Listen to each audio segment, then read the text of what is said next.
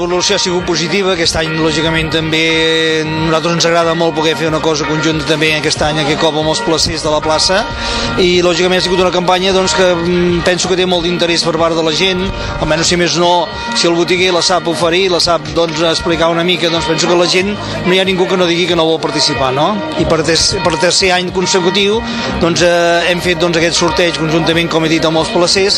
I aquest any doncs, ha vingut una mica també amb tres viatges musicals a tres punts d'Europa de, per poder doncs, regalar als nostres clients. Ja que a Nadal doncs, la gent doncs, eh, ha de fer les compres doncs, al mercat o, la, o els comerciants doncs, també és una manera de donar un premi doncs, al client que tens dia a dia o al client doncs, que compra doncs, aquests dies de Nadal. No? Nosaltres, nosaltres estem molt orgullosos doncs, que poder donar aquests prèmits avui doncs, perquè la gent doncs, que a més a més doncs, a fer la compra, que disfruta comprant i a més a més doncs, si té una butlleta que li pot tocar un viatge doncs és premial i que, que, que pugui disfrutar doncs, aquest premi molt i que a part de la compra doncs, es pugui portar aquest premi. Bueno, ha sigut una, una fantàstica sorpresa i vull dir, ha sigut una cosa pues, bueno, que impressionant perquè clar, fa eh, tants anys que tinc i no em toca mai res. Vull dir que estic molt molt contenta i a més em fa molta il·lusió un musical a Londres. Molta, molta il·lusió.